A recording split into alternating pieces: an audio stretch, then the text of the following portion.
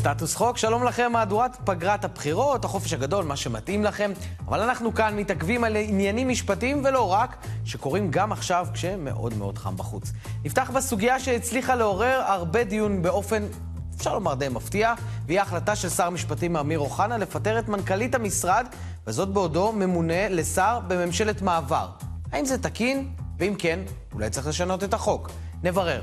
ומשם נעבור הלאה לחוק השש דקות. תיקון שנכנס לפועל בימים אלה ומחייב את נותני השירותים לענות לטלפון תוך שש דקות.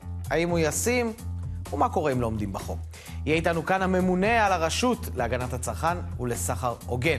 וכמובן, לא נוותר על הפינה החביבה עליי ועל רבים מצופינו, חקיקה היסטורית. סטטוס חוק, הגבירו את המזגן. מתחילים.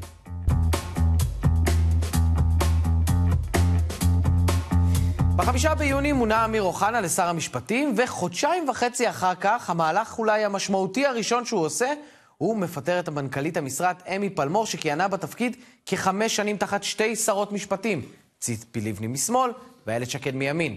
אוחנה טען, זה בסמכותי, מדובר במשרת אמון. על כך, אגב, אין חולק. נשאלת השאלה, האם אין בכך טעם לפגם? לעשות את הצעד הזה במהלך כהונת ממשלת מעבר, והאם בכלל יש עוד דבר כזה בחברה הישראלית טעם לפגם? כדי, לעשות, כדי לענות על השאלות האלה נמצאים עמנו שניים, עורך הדין תומר נאור מהתנועה לאיכות השלטון, שלום לך, ויהודה אמרני מהמרכז למשילות ודמוקרטיה. שלום לכם. שלום וברכה. יהודה, אני אפתח איתך בשאלה שסיימתי פה את הדברים שלי. יש דבר כזה באמת טעם, טעם לפגם בחברה הישראלית בכלל עדיין?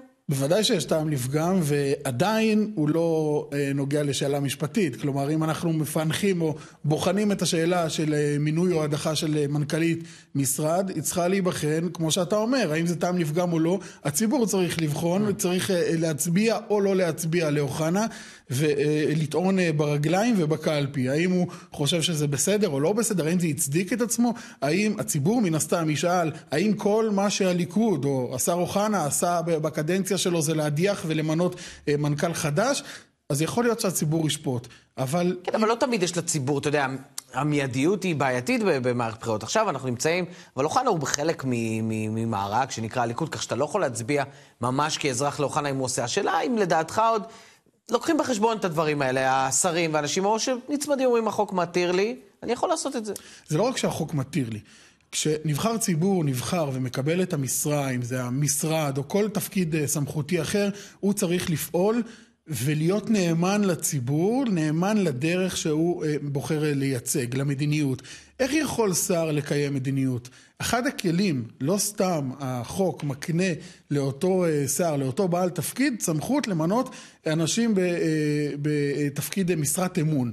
למה זה? כדי שהוא יוכל לבצע את המדיניות שלו, שלא אתה תבוא ואני אבוא אליו אחר כך ויגיד, אדוני, בחרנו בך, לא הצלחת לקיים את המדיניות שלך. כן.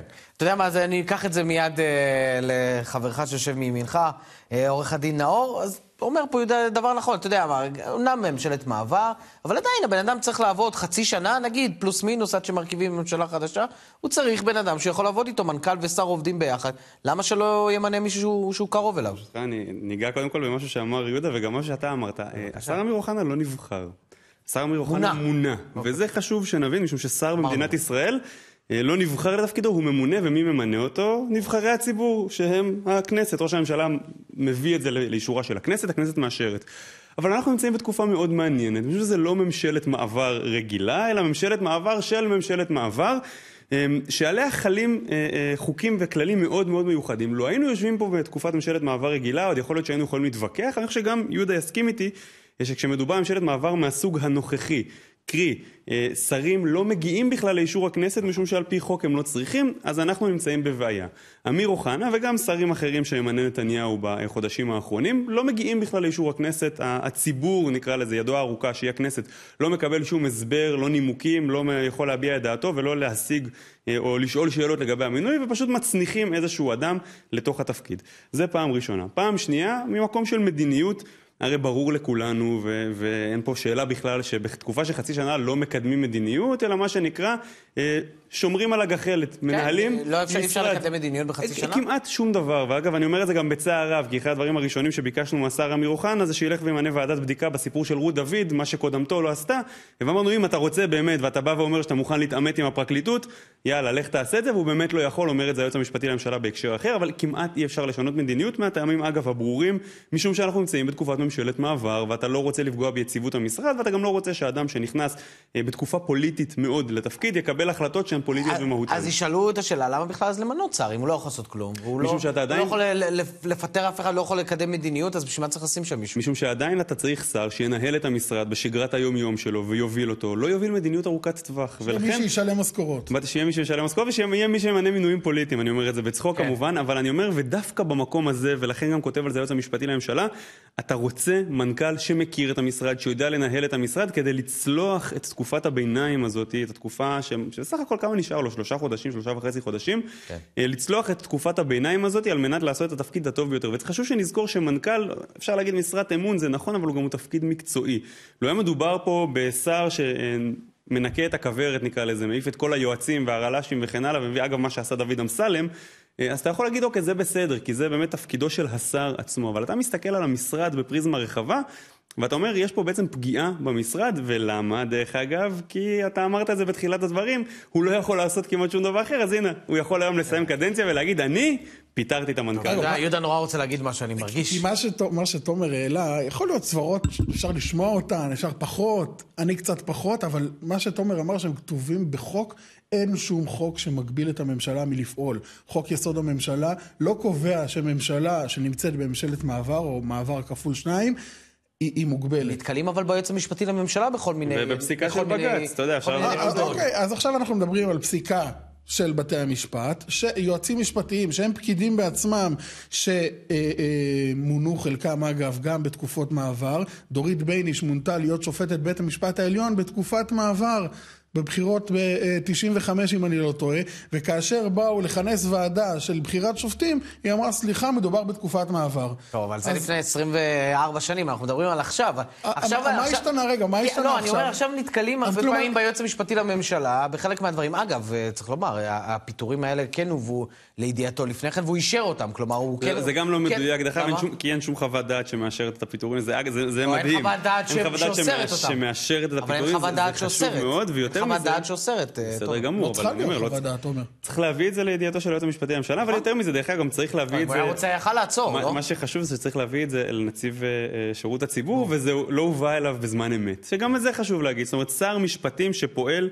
בניגוד לכללי המינהל התקין, מקבל החלטות... אגב, לא צריך, תומר, הדברים האלה כתובים בחוק. לא, הוא צריך להביא את זה לאישור נציב שירות הציבור. הוא לא צריך, זה כתוב שככלל, לא, לא, לא, זה חשוב לציין. על פי הנחיית יועץ. שאני שם את הנחיות היועץ בצד ונדבר עליהן, אבל האישור של המינוי החדש נקרא לזה. לא של הפיטורים. צריך, אבל האישור עצמו של המינוי החדש, הוא צריך גם להסביר למה בכלל אתה מזיז הצידה, וזה מופיע בחוק. שנייה, לפני שאתם נכנסים לדקויות החוק, בוא נשים את הדברים על השולחן, יהודה, אני בא אליך. היו כמה טענות שנטענו.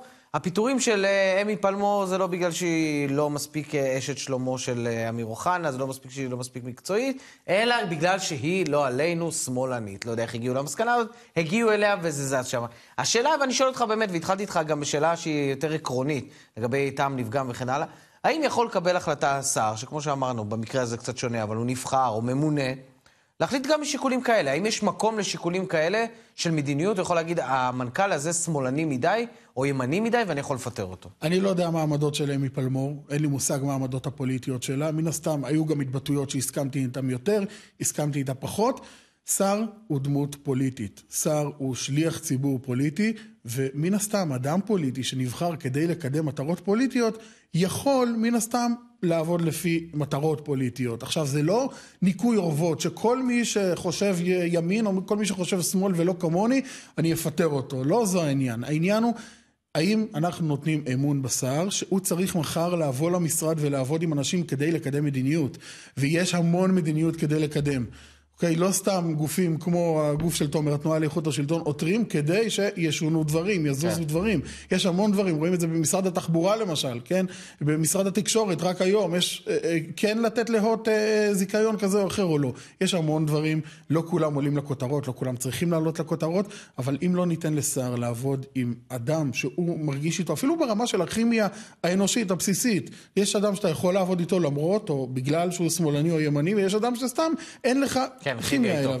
אה, תומר, אה, אתם הולכים לעתור אגב נגד הפיטורים? כבר עתרנו, אני כן. רגע אדבר על העתירה, אבל אני רק רוצה משהו קטן על כל הספקולציות שאנחנו שומעים. תראה, זה בדיוק העניין, זה הכל פוליטי. עכשיו אני קורא כי רצו לנגח את שקד, ואני קורא כי חשבו ששמאל... זה לא משנה, זה בדיוק העניין, הכל פוליטי, אבל דווקא בתקופה שאתה צריך להיות בה, הכי מקצועי. כן. וזה מה שחשוב לומר. ואם היה השר אוחנה מגיע לתפקידו במינוי קבע, שעובר את אישור הכנסת, עם ממשלה שנכנסה לתפקד כמו שצריך, והיה מזיז אותה, מבחינתי, כאילו, לא יודע מה, מכל סיבה, זה באמת לא כן. משנה, אתה יודע, אני לא רוצה להמציא פה כל מיני סיבות, זה, זה באמת בסדר, כי זו משרת אמון. אני חייב אבל... להסכים עם תומר, זו עתירה שבאה מפוזיציה ועכשיו אני אומר, משהו שנייה על הפוליטיקה, זה, זה היופי, אתה יודע, אומרים לנו עכשיו, הרי מי, מי הייתה השרה בחמש השנים האחרונות? כל מי שמרוצה מתפקידה של השרה שקד, צריך גם להיות מרוצה ממנכ"לית שעזרה לה להוציא את המדיניות לפועל, וזה לא משנה מה היא, ולכן גם השיח הפרסונלי פה הוא, הוא הזוי בעיניי ולא קשור.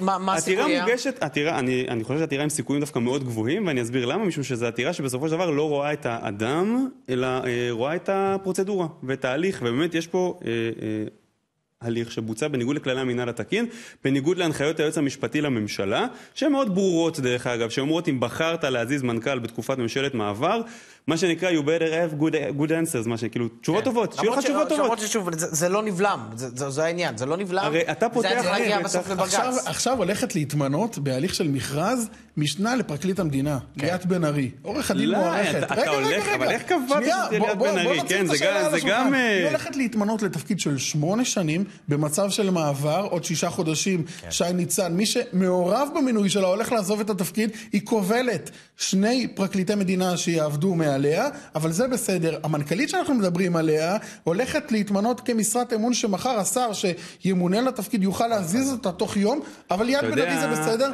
הוכיח תומר שזו עתירה פוליטית. לא, אז יפה, אני רק אומר משהו על יד בן ארי, כי אם היית מבטל את כל המכרזים, היינו אומרים בסדר. מה שקרה זה שכל המכרזים רצים קדימה, ודווקא המקום הזה, אבל הנה, זה בדיוק המקום שבו פוליטיקאים הופכים את זה לפוליטי. זה פשוט לא נכון, ולבוא ולבוא ולומר שהעתירה שהוגשה בסיפור של לא- עמי היא פוליטית... זה לא מינוי קריטי בממשלת מעבר. עזוב, זה גם שני דברים שונים, אתה יודע, what about וכן הלאה, לא יש פה, כן, אבל לא, עזוב. תראו, אני אגיד לכם מה אני התרשמתי, התרשמתי שכמו שתומר אמר, הכל פוליטי, אבל יש מקום אולי באמת לנסות ולבחון את החוק דווקא בממשלות מעבר, כי מי היה מאמין שנהיה ממשלת מעבר, בתוך ממשלת מעבר במקרים כאלה ש... תן לי משפט קטן כן, לסיום, יניב. כן, בבקשה. למה אני אוהב את המקרה הזה? כי דווקא אנשים שאני מדבר איתם ימין ושמאל, אומרים לי מה אמיר אוחנה חשב שהוא עושה. גם רצית להדיח בצורה כזאת רשלנית. בצורה, לא, אז אני אומר כאילו, זה יופי, יש פה מקרה שמוכיח בדיוק שגם בשיח המשילות וכן הלאה, אפשר גם לבקר שרים מימין על מה שהם עושים. קראת לשנות את החוק, יניר, ולהגדיר את ממשלת מעבר במצב חוקי, בדיוק בגלל החשש מהתערבות. לא נכונה ולא סבירה של משפטנים ושופטי בית המשפט העליון, בדיוק בגלל הסיבה הזו לא משנים את החוק ולא מכילים מגבלות, כי אם תיתן משהו, לך תדע מה יעשו עם זה. עורך הדין תומר נאור של התנועה לאיכות השלטון ויהודה אמרני מהמרכז למשילות ודמוקרטיה, תודה רבה לכם על העניין הזה. תודה. תודה. וכעת לחקיקה היסטורית, החוק הבא נחקק בשנת 1992 והוא בא לדאוג שכולנו נוכל לעבוד? חוק יסוד חופש העיסוק הוא החוק ההיסטורי שלנו להיום. הנה.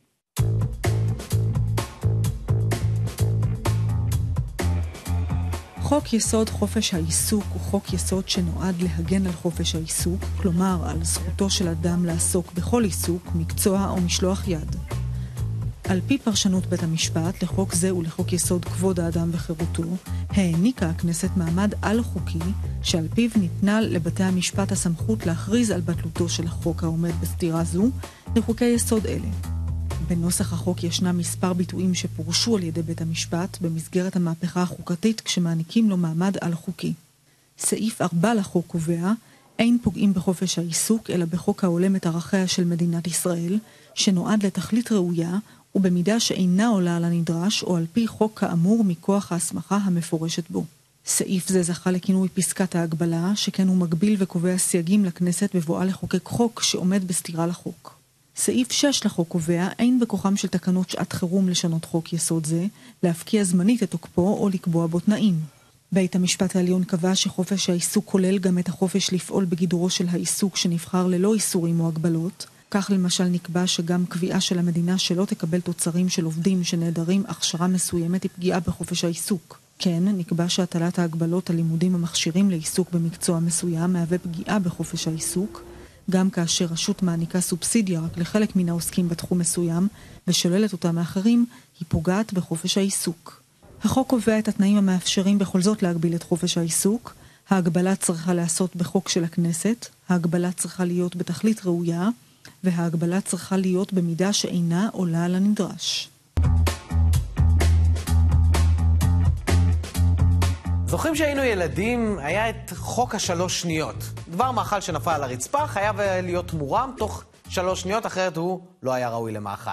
אז לחוק הילדותי הזה חוקקו את חוק השלוש דקות, שלפיו חייב הנציג להרים את הטלפון כשלקוח מתקשר למוקד השירות. אלא מה? כמו בשלוש השניות, כשהיינו ילדים, היה מי שעיגל פינות, או מי שחשב ששלוש שניות זה מעט מדי זמן. אז כעת נכנסת הנחיה חדשה של הממונה על הרשות להגנת הצרכן, והיא מקלה מצד אחד, אבל מותחת כאן גבול אדום. עכשיו נותני השירות חייבים לענות לכם תוך שש דקות, ואם לא, מיד נגלה. נמצא איתנו כאן לא אחר מאשר הממונה על הרשות להגנת הצרכן ולסחר הוגן, עורך הדין מיכאל אטלן. שלום לך, אדוני. שלום. טוב, אז uh, ברשותך, אני... דיברנו על עניין השלוש דקות, ויושב הצופה הסביר ואומר, היה חוק שלוש דקות, לא כל כך עמדו בו, אז עכשיו משפרים אותם, נותנים להם פי שתיים, שש דקות. תסביר. קודם כל, תיקון, מי שמתקן זה גם המחוקק. כלומר, היה חוק שלוש דקות, הצעת חוק של אה, חבר הכנסת איתן כבל בזמנו, ואותו חבר הכנסת איתן כבל העביר גם את התיקון שמאריך את זה לשש דקות, אבל הוא מרחיב את זה לבנקאות ולעולם שוק ההון וחברות האשראי, שזה היה הישג. והוא גם סותם פרצה שהייתה קיימת בשלוש דקות. Mm. הפרצה הייתה שאם היית בוחר אה, להישאר על הקו ולא להשאיר את הפרטים שלך כדי שיחזרו אליך, מניין שלוש דקות היה מפסיק. ואז בעצם יכלה להיות שיחה ארוכה מאוד. היום זה שש דקות, אבל בלי אפשרות. כלומר, אם אני מסרב להשאיר הודעה ואני רוצה לדבר עם מישהו ואני נשאר על הקו, מניין השש דקות ממשיך. אה, יפה, אז, אז זה חידוד חשוב, כי בעצם מה שהיו עושות, אה, או היו עושים המוקדים, היו מציעים לך אפשרות כזאת, ברגע שלא היית מסכים, זה כבר מה שנקרא עניין שלך, לא בעיה שלנו יותר. נכון. היום אם אתה אומר, אני רוצה לקבל אה, שירות, אתה חייב לקבל את זה תוך שש דקות. נכון. עכשיו, כמה הצליח חוק השלוש דקות, שכנראה שלא משהו, אם הוא הצריך אה, תיקון? בדיוק, ענית. היה קצת ניסיון אה, לאכוף, אבל בגלל... מה, זה באמת קשה שלוש דקות, אה, להבנתכם? אתה יודע, הכל עניין כלכלי בסופו של דבר, וצריך לאייש יותר עמדות, אז מנסים לחסוך איפה שאפשר כנראה. הפרצה היא זו שמנעה את האכיפה היותר קשה של החוק של השלוש דקות. אבל בחוק של השש דקות יש סכנה של פרצה חדשה, okay. אוקיי. שחשוב להתריע מפניה. החוק, נוסף לזה שהוא קבע את השש דקות כעיקרון כללי, הוא בכל זאת הסמיך רגולטורים ייעודיים, נגיד שר שממונה על חברות התקשורת, או שר שממונה על אה, אה, חברת החשמל, אה, מים, כל, בכל תחום כזה, לקבוע אישור חריגה באחוז מסוים בתוך תקופה מסוימת. רגע, רק שאני אבין. יש את החוק, הוא מדבר שש דקות, אה, שם בתוכו את כל נותני השירות, מי שאמור לעמוד אה, בחוק הזה שש דקות, ופתאום יש, כמו שאנחנו מכירים בחלק מהחוקים, סעיף קטן אומר, רגע, רגע, אפשר להחריג, ומי שמחריג הוא אדם פוליטי במקרה הזה, שר התקשורת, אני, אני מניח, והוא יכול להחריג שירותים מסוימים שנותנים נותני השירות? הוא יכול, אבל ב, ב, במסגרת הדין שהוא אחראי עליו, כלומר, הוא, זה כאילו הוא מוציא תקנה אה, משלו. ו, אמ, ומי שבוחר לעשות את זה יצטרך לתת דיווח אה, לוועדת הכלכלה של הכנסת אה, מה קרה עם זה. אמ, הרעיון מאחורי הדבר הזה הוא שאם יש באמת בקרה אמיתית, 85 אמ, או 90 אחוז הצלחה זה אולי יותר טוב מאשר לבנות על אה, אכיפה על בסיס תלונות בודדות. אבל מה שמדאיג אותנו, ולכן פניתי לכל הרגולטורים היהודיים האלה והתרעתי והצעתי להם, שלא יהיו תלויים בדיווחים של החברות, שיהיה להם כתנאי לאשר את החריגה, שתהיה להם גישה ישירה למחשב של המענה האנושי של, של החברה שהם okay. אוקיי. מפקחים עליה. כי אחרת, אם זה יהיה תלוי בדיווחים אה, אה, של החברות, זה לא ייאכף וזאת תהיה הפרצה החדשה. אוקיי, וגם אנחנו מותחים כאן איזשהו קו כלכלי, נכון? לגבי תאגיד, לגבי עוסק פטור, יש קנס בצידו, לא? זה... מתי מפעילים את הקנס, דרך אגב? מהרגע שזה נכנס לחוק הגנת הצרכן, אז, אז יכולת האכיפה שלנו היא באמצעות עיצום כספי או קנסות. Mm-hmm. ושם באמת יש הבחנה בין, אנחנו מדברים פה על תאגידים, זה רק החברות הגדולות. כל העניין הזה לא חל על אה, משרדי ממשלה, לא חל על, על רוב החברות במשק, זה חל על החברות שנותנות את השירותים הכי בסיסיים, גז, מים, חשמל, טלפון, כבלים, טלוויזיה וכולי.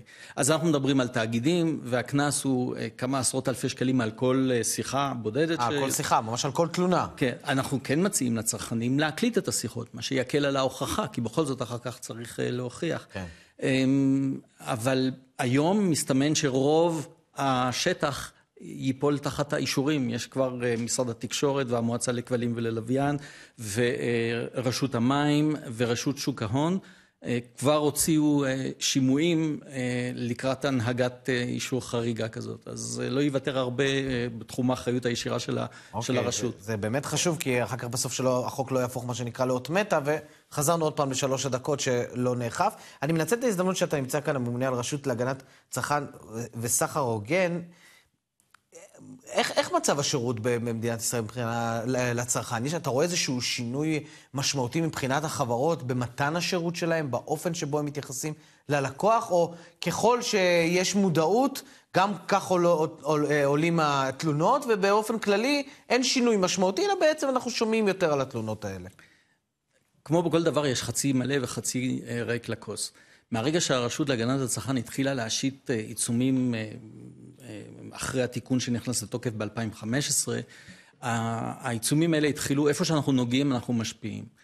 אני אתן לך דוגמה, בתחום חברות התקשורת, ששם שמנו דגש, יש כל מיני מעשים שהם הטעיה, שאנחנו השתנו בגינם עיצומים גבוהים.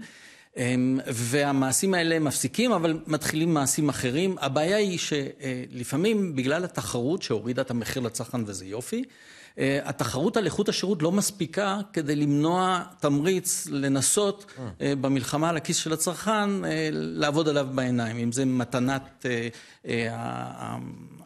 מתנה, אה, אייפד בחינם, שאחר כך מתגלה, מתגלה לך שזה לא בחינם. יש עוד דברים כאלה באמת? יש עוד דברים כאלה, כן. כן, שמציעים כל מיני מתנות... אה, אה, זה בעיקר לאוכלוסייה יותר מבוגרת, נכון? לא רק, האוכלוסייה המבוגרת, יש מכת מדינה של... אבל זה, זה כבר עולם אחר, זה, נכון. זה חברות טלמרקטינג אגרסיביות, שהן, חלקן הן מלבינות הון, כלומר, הן חלק ממלחמות פשע, חלקם הם סתם נוכלים מגעילים אה, קטנים, ודווקא שם גם, איפה שאנחנו נוגעים, אנחנו... אה, אה, מצליחים? כן, אנחנו חונקים את החברות האלה, אבל צצות אחרות, ומהבחינה הזאת אני משווע לכוח אדם. ככל שיהיה לי יותר, יהיה לי יותר השפעה. וזה תלוי במה? בתקנים שהממשלה מספקת, אני מתאר לעצמי. תראה, הרשות להגנת הצרכן נהנית מצד אחד מדימוי של רשות שהיא מאוד נגישה לאזרחים, אפשר לפנות אליה. מצד שני, יש אה, תחושה, לפעמים יגיד, יגיד האזרח, אין שם מספיק שיניים, נכון? אם, אם, אם קורה משהו, אז הם צריכים לפנות למשטרה, במקרה כזה, כמו שיש, של עושק קשישים אה, בצורה חריפה. תתקן אותי אם אני טועה, כמה הרשות באמת יכולה באמת לעזור לאזרח הפשוט שנתקל בסיטואציה כזאת? אז דווקא בתחום עושק הקשישים, מי שיזם, מי שזיהה ויזם את הפעילות והוביל את המשטרה להיכנס יחד איתה בצוותים משותפים, ובחלק מה, מהמקרים אנחנו לבד, זאת הייתה הרשות. גם אה, אה, אחרי ששר הביטחון פנים הכריז על זה שהמשטרה צריכה להתמקד בעניין הזה של עושק הקציצים, אה, הקשישים, עדיין הצוותים המשותפים, אנחנו צריכים ללחוץ על המשטרה. זה טבעי אגב, כשיש להם פתאום איזה אונס או איזה רצח, אז הם מעדיפים להתעסק איתו. אז איפה שאנחנו פעילים, איפה שאנחנו פועלים, אנחנו משפיעים. יש דבר אחד שעדיין חסר לנו.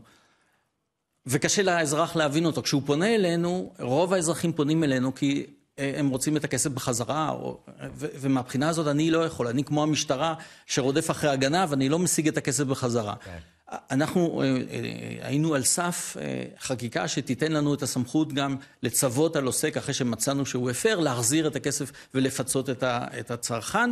לא אני מקווה שעם הכנסת החדשה אנחנו נוכל לחדש. זה עובר עדיין דרך בתי משפט למעשה, אם מישהו רוצה לקבל את הכסף שלו, לא? כן, אז הוא צריך לתבוע בעצמו בתביעה קטנה. אגב, שידעו הצרכנים, עשינו בדיקה, 95% מהתביעות הקטנות שמגישים צרכנים, הם זוכים. אה. אולי לא בהכל, אבל הם זוכים. כן, זה כדאי. כלומר, בתי משפט לא מאמינים להם.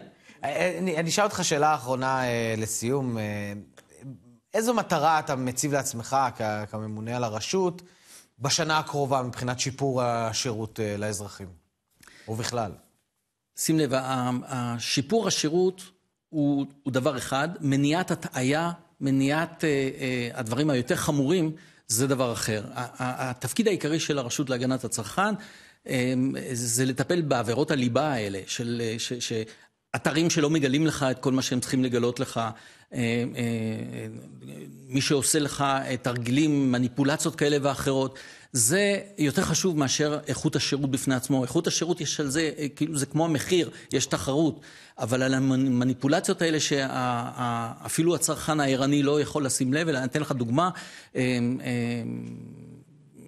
כתוב לך אה, תכולה של מכל בתוך אה, מכל אה, שיזוף, ותחקיר נחמד של ערוץ 2, אם אני לא טועה, גילה שבעצם אין את אותו 200, אותם 200 מיליליטר שמובטחים לך ב... ב... זה קורה הרבה, זה, זה, זה ספורט, זה אז, ספורט. עכשיו, גם אם אתה צרכן מאוד ערני, ואני מעודד את הצרכנים להיות ערניים, זה מסוג הדברים שבלי... התערבות.